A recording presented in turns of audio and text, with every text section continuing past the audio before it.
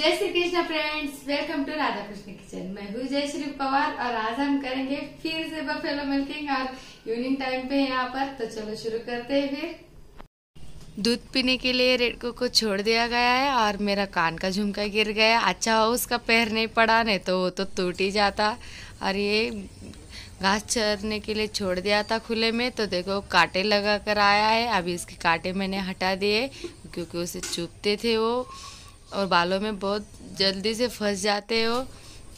और अभी हम इसको दूध निकालने की तैयारी कर रहे हैं और इसे थोड़ा सा सहलाया ना तो ये पाना छोड़ती है और फिर दूध बहुत अच्छे से निकालता है। और मेरे से कुछ जो ट्रिप्स छूट गए थे, बाबू भाई ने वो भी समझा दिए और अभी मैं पूरे जोश के साथ मिल्किंग करने स्टार्ट कर दी मैंने।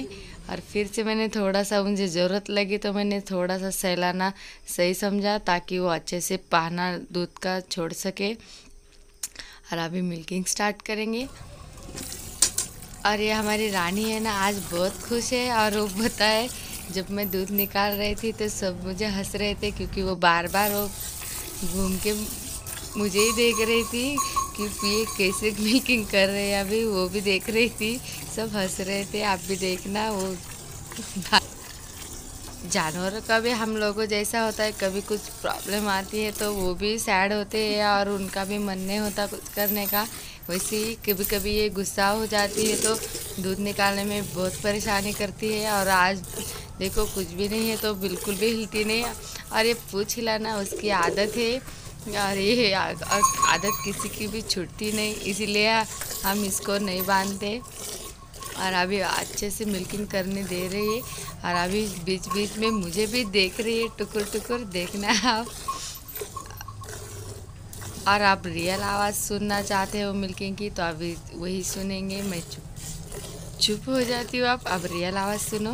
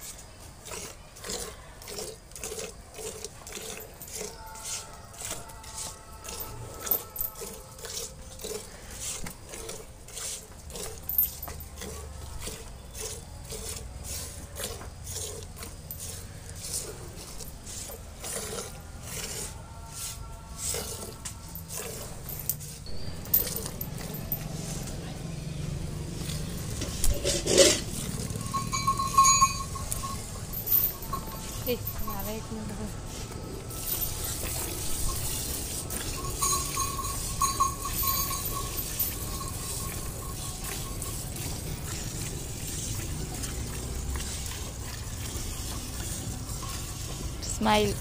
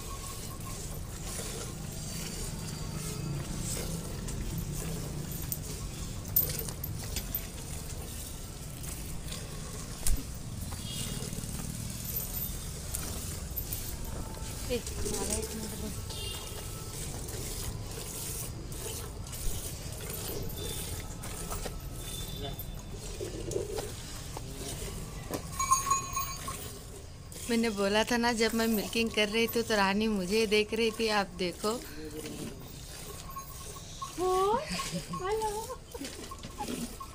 इस तरह से वो मुँह घुमाकर ऐसी इसी और देखी जा रही थी कि मुझे क्या है। मैंने हाथ घुमाया, फिर उधर देख रही, फिर उधर देख रही थी। उसको भी अब मेरी आदत हो चुकी थी और वो देखो कैसे देख रही थी दूध कैसे निकालती हूँ सही से नहीं निकालती कि नहीं।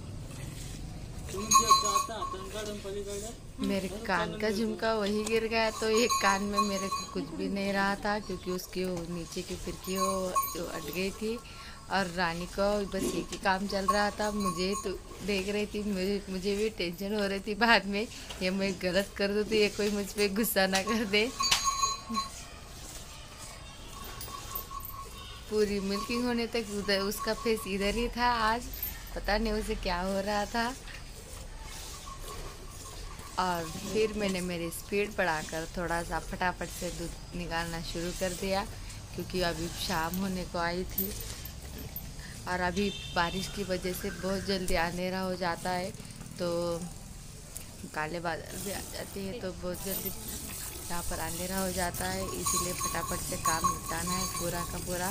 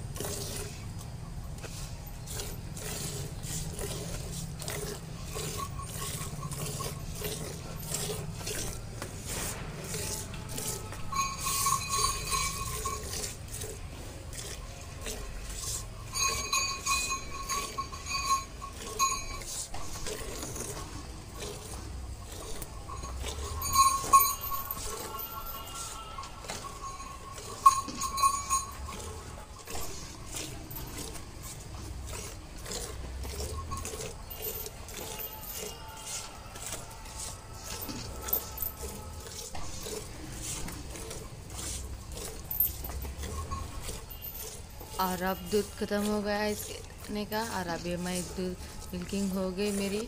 अभी हम इस मिल्क को एक जगह इकट्ठा करेंगे कैन में भरकर, और फिर मिल्किंग के बाद हम रानी को ढेप खिलाते हैं। तो फिर मैं वही दे रही हूँ उसको। ये ढेप है, हम ये मार्केट से लाते हैं।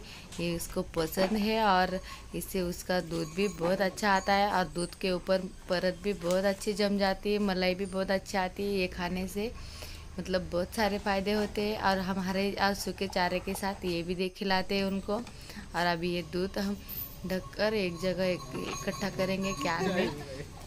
क्योंकि बाकी की भी मिल्किंग हो चुकी थी हमारे बात की और अभी हमने एक चंचू पात्र में ये भर कर रखते हैं छन्नी से छान कर ताकि उसमें से अच्छे बाल या कुछ उसमें कचरा ना जाए इसलिए। और बहुत अच्छा लगता है जब पूरा दूध एक साथ देखते हैं तो। अभी हमारा दूध बिल्कुल रेडी है। कस्टमर क्या अभी आने का वेट कर रहे हैं बस। देखो कितना दूध अच्छा है।